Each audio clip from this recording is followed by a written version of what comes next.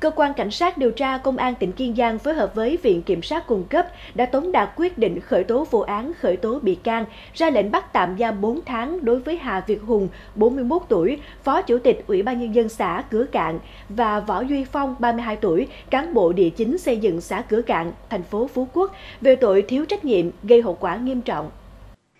Theo kết quả điều tra, Phong và Hùng là người trực tiếp chịu trách nhiệm việc kiểm tra, xác nhận nguồn gốc đất. Cả hai đã xét duyệt nguồn gốc và thời điểm sử dụng ba thửa đất cho hai hộ dân nhưng thực hiện không chặt chẽ. Cụ thể là đất có nguồn gốc do nhà nước quản lý xét duyệt, cấp cho đối tượng không đủ điều kiện cấp giấy chứng nhận quyền sử dụng đất với diện tích gần 45.300 m2, qua đó đã gây thiệt hại cho nhà nước hơn 31 tỷ đồng.